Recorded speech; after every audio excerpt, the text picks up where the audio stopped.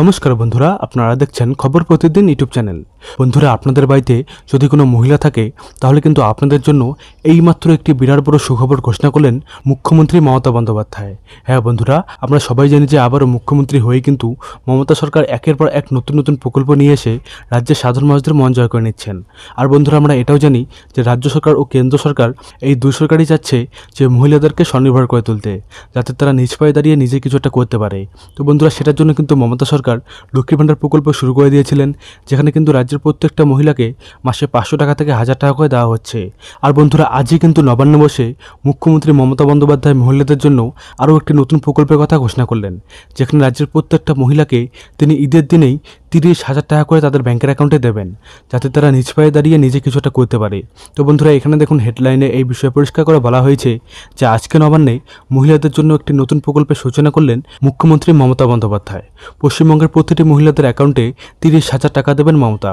তো আপনারা কীভাবে আবেদন করবেন, কী কী ডকুমেন্টস লাগবে, বয়স কত হতে হবে, কোন কোন জেলার মহিলারা আবেদন করতে পারবেন, এই সব কিছুই কিন্তু আজকে আমি আপনাদের এই ভিডিওর মাধ্যমে জানিয়ে দেবো।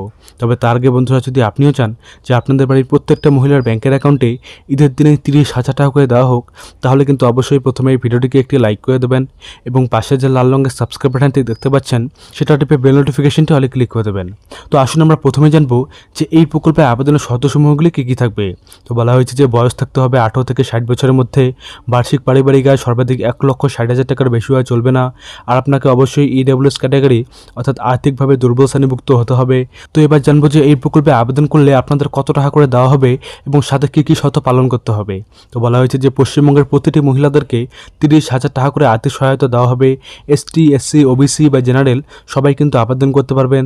আর এই তিরিশ হাজার টাকা পেতে গেলে আপনাকে অবশ্যই পশ্চিমবঙ্গের পার্মানেন্ট সিটিজেন বা স্থায়ী বাসিন্দা হতে হবে। তো এবার জানব যে কীভাবে এবং কোথায় আপনারা আবেদন করবেন এই প্রকল্পে। তো বলা হয়েছে যে আপনাদের নিকটবর্তী ব্লক বা পৌরসভা বা গ্রাম পঞ্চায়েত থেকে আবেদনপত্র বা ফর্ম সংগ্রহ করতে হবে। তারপর আবেদনপত্রটি চূড়ান্ত অনুমোদনের পর তিরিশ হাজার টাকা সরাসরি মহিলাদের ব্যাংকের অ্যাকাউন্টে পাঠিয়ে দেওয়া হবে। তো এবার সবার শেষে জানব যে এই প্রকল্পে আবেদন করতে কি কি ডকুমেন্টস লাগবে। তো বলা হয়েছে যে ব্যাংকের পাসবুকে জেরক্স কপি লাগবে আধার কার্ড থাকতে হবে, জাতীয় শংসাপত্র বা কাস্ট সার্টিফিকেট লাগবে। তো নিচে দেখুন আরও বলা হয়েছে যে আয় শংসাপত্র বা ইনকাম সার্টিফিকেট লাগবে, আর লাগবে দশ টাকা মূল্যের নন জুডিশিয়াল স্ট্যাম্প পেপার